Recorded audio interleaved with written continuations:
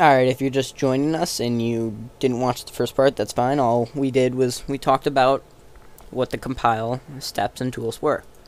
So, with the Valve Batch Compiler tool, you can do the full, the fast one. But if you're looking to cut compile times down, there's a couple things that you need to do while you map. Like, for this rubble here, it's just func detail with some models. And if you look in the view here, you can see that it's just four pieces. Now, when I made this, I just took the clipping tool and I clipped the crap out of it. But that left off-grid vertex points. So, every time you make something that's not a square, you need to make sure that your vertex points are on grid. So, to do this, you just select the vertex edit tool, and you just zoom in on the grid, and you use um, left bracket to make the grid as small as possible. Then I just grab the point and I move it in a circle and then I put it as close back to its original spot as possible. And you want to do this whenever you create a funky looking brush. This will help increase your compile times a lot and no one will know if you moved it one segment or not. So you just got to keep that in mind while you map. The other thing is, is func detail. I talked a little bit about this in the optimization in the optimization tutorial, and this is the main thing that you will do to optimize your map. All these pillars that you see here are func detail. They are big, yes, but they can't really block your view. Even when you walk right up to them, you can still see out of the sides a little bit. So making these a func brush is, I mean, a world brush is completely pointless. So anything of this nature, you would want to make a func detail. This will cut down your visibility compile times and overall make your map run better. And also little stuff like this, like the framing on a window, or the slide track on a door. Just make sure that you think about what you're going to func detail as you map. It's a very simple way to cut down on the compile time. And if you want to do a fast compile, just hit this up with fast fast.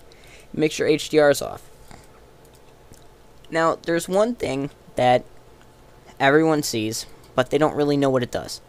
Is this red box that I have here and they see these two little caution things. This is called the cordon bounds tool. What this cordon bounds tool does is it cuts off your map and only has what's inside of it. Inside tools, you can click options and there's cordon texture. If you've set this up manually before, you may be, what's cordon texture? Just leave it as tools skybox because it just puts the skybox around your map and it looks normal. So, to use the cordon tool, you just select the one with the grab points and now you'll see you have this box pane. And if you have cordon tools enabled, you'll notice that your map disappears if you click somewhere else. You need to draw the box around approximately where your map is, or just turn it off and make the box without cordon tools being on.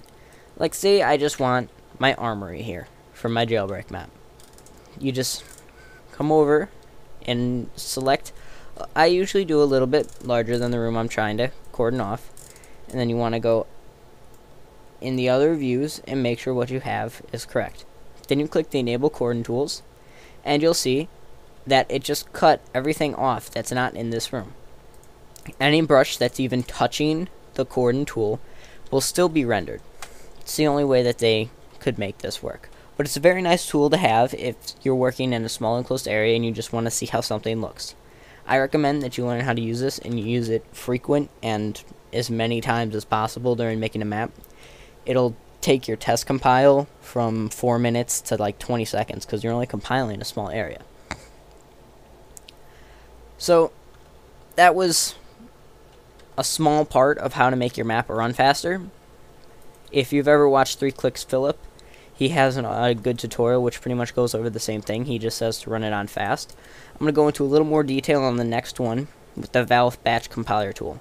If you've loaded this up and you look at this, you'll see VMPI. You'll be like, what's VMPI? Stick around for the next tutorial. This is a very important thing to do if you want to cut down your compile times.